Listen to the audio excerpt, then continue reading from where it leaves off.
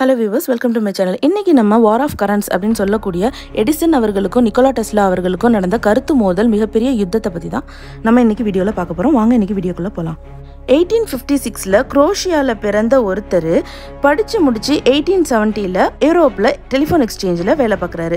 அவர் வேறு யாரும் இல்லை அது நம்ம நிக்கோலா டெஸ்லா அவர்கள் தான் படிக்கும்போதே மின்சாரம் அறிவியல் அப்படின்னு ஆர்வமாக இருந்தவருக்கு திடீர்னு ஒரு நாள் இண்டக்ஷன் மோட்டர் தயாரிக்கிறதுக்கான ஐடியா ஒன்று தோணுது. அந்த யோசனையை வச்சுக்கிட்டு டெலிஃபோன் எக்ஸ்சேஞ்சில் வேலை பார்த்துக்கிட்டு இருந்தால் இனிமேல் சரிப்பட்டு வராது அப்படின்னு தன்னோட பெட்டி படிக்கையெல்லாம் எடுத்து ரெடி பண்ணிக்கிட்டு அமெரிக்காவுக்கு அவர் கிளம்பிடுறாரு. அமெரிக்காவில் ஆல்ரெடி பல்ப் இன்வென்ட் பண்ணி பேரும் புகழும் சம்பாதித்த தாமஸ் ஆல்வா எடிசன் கிட்ட போய் வேலைக்கு சேர்ந்துடுறாரு நிக்கோலா டெஸ்லா. எடிசன் கிட்ட வேலை பார்த்துக்கிட்டு இருந்தப்ப எடிசன் கண்டுபிடிச்ச அந்த டைரக்ட் கரண்ட் சம்பந்தமான விஷயங்களை கொஞ்சம் இம்ப்ரூவ் பண்ணலாம் அப்படின்னு டெஸ்லா அவர்களுக்கு தோணுன ஐடியாவை எடிசன் கிட்ட வந்து சொன்னப்ப உன் ஐடியாவை நீயே வச்சுக்கோ? இந்த ஐடியாவெல்லாம் வச்சுட்டு நீ எதுவும் பண்ண முடியாது இதை செயல்படுத்த முடியாது. எங்க நீ சொன்ன ஐடியாவை நீயே செயல்படுத்தி காட்டு பார்ப்போம் அப்படி நீ செயல்படுத்திட்ட அப்படின்னா உனக்கு நான் ஐம்பதாயிரம் டாலர் நான் உனக்கு தரேன் அப்படின்னு சொல்லி டெம்பரரியா அவரை நிக்கோலா டெஸ்லா அவர்களை ஆஃப் பண்ணி விட்டுறாரு.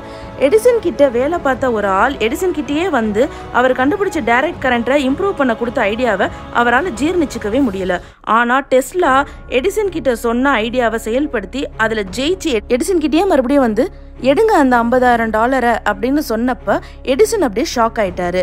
அது மட்டும் இல்லாமல் நீ டேலண்டான பையன்தான். இங்கே அமெரிக்காவில் அதிகமாக ஜோக் பண்ணுவோம். அதனால நானும் உன்னை ஜோக் பண்ணி சிரிச்சேன் அப்படின்னு சொல்லி அவர் சிரிச்சு அப்படியே மழுப்பி விட்டுடுறாரு. என்னதான் அவர் உதட்டளவில் சிரிச்சு மழுப்பி விட்டாலும் எடிசனுக்கு மனசுக்குள்ள பொறாமையின் தீ பத்தி எரிஞ்சது அப்படின்னு தான் சொல்லணும்.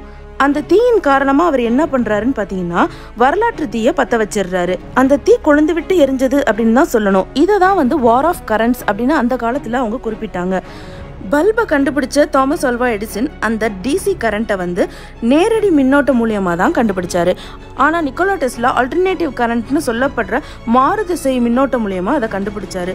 அது டைரக்ட் கரண்ட்டை விட பல மடங்கு நல்ல ரிசல்ட்டை தந்தது. நிக்கோலா டெஸ்லாவின் இந்த வளர்ச்சியை ஏற்றுக்க முடியாத எடிசன் என்ன பண்ணுறாருன்னு பார்த்தீங்கன்னா டெஸ்லா கண்டுபிடிச்ச அல்டர்னேட்டிவ் கரண்ட் மிகவும் ஆபத்தானது அப்படின்னு பிரச்சாரம் பண்ண ஆரம்பிச்சிடுறாரு.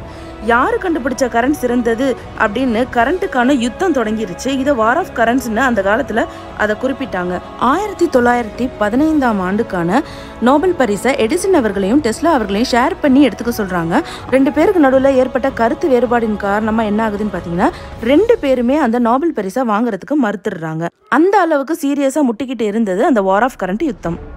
என்னதான் எடிசன் அறிவாளியா இருந்தாலும் டைரக்ட் கரண்ட்டை கண்டுபிடிச்சிருந்தாலும் டெஸ்லாவோட கண்டுபிடிப்பை நினைச்சு அவர் கடுப்பு தான் ஆனாரு. டெஸ்லாவோட அல்டர்னேட்டிவ் கரண்ட் ஆபத்தானது அப்படின்னு நிரூபிக்கிறதுக்கு என்னென்ன முயற்சி எல்லாமோ எடுத்தாரு. எடிசன் அவர்கள் டெஸ்லாவோடைய கரண்ட் ஆபத்தானது அப்படின்னு நிரூபிக்கிறதுக்கு பதிலாக அவருடைய கரண்ட்டை விட இவர் வந்து அதிகமான ஆபத்தை வந்து ஏற்படுத்திடுறாரு.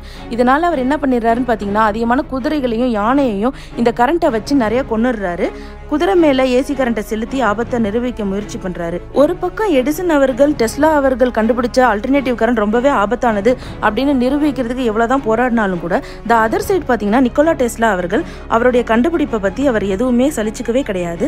நிக்கோலா டெஸ்லா அவர்கள் எடிசனை பற்றி எந்த ஒரு தேவையில்லாத பிரச்சாரமும் அவர் பண்ணவே கிடையாது. அதுக்கு மாறா அவர் நிக்கோலா டெஸ்லா அவர்கள் அவர் கண்டுபிடிச்ச ஆல்டர்னேட்டிவ் கரண்ட் எந்த அளவில் மக்களுக்கு யூஸ்ஃபுல்லாக இருக்கும் அப்படிங்கிற முயற்சியை மக்களுக்கு எடுத்து சொல்றதுலயே அவர் கவனம் செலுத்தினாரு. அதில் அவர் வெற்றியும் பெற்றார். அப்படி டெஸ்லா அவர்கள் வாழ்க்கையில் கண்டுபிடிச்சது முக்கியமான படைப்புகள் என்னன்னு பார்த்தீங்கன்னா Tesla coil AC motors wireless technology அப்படின்னு அடுக்கிக்கிட்டே போகலாம் டெஸ்லா தன் கண்டுபிடிப்புக்கான முந்நூறு பேட்டன்ட்டை வாங்கி வச்சிருக்காரு. அப்படி வாங்கி வச்ச பேட்டன்ட்டை வச்சு தான் இன்னைக்கு இருக்கக்கூடிய பல டெக்னாலஜி வளர்ந்துருக்கு. ரேடியோவை கண்டுபிடிச்சது மார்க்கோனி தான் அப்படின்னு நீங்கள் படிச்சிருப்பீங்க. ஆனால் ரேடியோவுக்கான தொழில்நுட்பத்தை மார்க்கோனிக்கு முன்னாடியே கண்டுபிடிச்சது நிக்கோலா டெஸ்லா தான். ரேடியோக்கான பேட்டன் மார்க்கோனிக்கு கிடைச்சதுக்கு அப்புறமா மேற்கொண்ட தன்னோட பேட்டன்ட்டை சேர்த்து தான் மார்க்கோனி அவர்கள் ரேடியோ தன்னுடைய படைப்பு தான் அப்படின்னு முன் வச்சாரு. ஆனால் அப்பவே டெஸ்லா தரப்புல இருந்து தொடரப்பட்ட வழக்கில் பார்த்தீங்கன்னா டெஸ்லா அவர்கள் இறந்து ஆறு வருஷத்துக்கு பிறகு முழு விசாரணைக்கு அப்புறம் ரேடியோ கண்டுபிடிச்சதுக்கான பதினேழு பேட்டன்ட் வந்து நிக்கோலா டெஸ்லாவோடது தான் அப்படின்னு நிரூபிக்கப்பட்டது. ரேடியோ டெஸ்லாவுடைய கண்டுபிடிப்பு தான் அப்படின்னு சுப்ரீம் கோர்ட்டும் தீர்ப்பு தந்துருச்சு. எடிசன் மாதிரியான ஒரு பெரிய விஞ்ஞானியை எதிர்த்து நின்று வளர்ந்தது மட்டும் இல்லாமல் பல படைப்புகளை கொடுத்து மக்களுக்கான விஞ்ஞானியாக வாழ்ந்து மிகப்பெரிய சாதனை படைச்சது. இப்படி எதிர்காலத்துக்கு பயன்படுற பல விஷயங்களை கண்டுபிடிச்சு கொடுத்த டெஸ்லாவை கண்டுக்காம விட்டது இந்த உலகம். Nikola Tesla dies at eighty five alone in his hotel suite அப்படின்னு செய்தி எழுதப்பட்டது தான் அவலத்தின் உச்சம். டெஸ்லா அந்த காலத்தில் வாழ்ந்த விஞ்ஞானி மட்டும் இல்லை பல படைப்புகளை கொடுத்து இன்றைய அறிவியல் மாற்றத்திற்கான காலம் கடந்த ஒரு விஞ்ஞானி. எலோன் மஸ்க் அவர்கள் கூட டெஸ்லாவை பார்த்து இன்ஸ்பயர் ஆனதுனால தான் தன்னோட எலக்ட்ரிக் கார் கம்பெனிக்கு டெஸ்லா அப்படின்னு பேர் வச்சாரு. அந்த அளவுக்கு டெஸ்லா அவர்களுடைய புகழ் எல்லா இடத்துலையும் பரவி இருக்கு. ஓகே விவஸ் இன்னைக்கு இந்த வார் ஆஃப் கரண்ட்ஸ் வீடியோ உங்களுக்கு மிகவும் பயனுள்ளதாக இருந்திருக்கும் அப்படின்னு நான் நினைக்கிறேன். மீண்டும் வேற ஒரு வீடியோவில் உங்களை வந்து மீட் பண்ணுறேன் அண்டில் தென் உங்களிடம் இருந்து விடைபெறுவது சரண்யா ராஜு. நன்றி.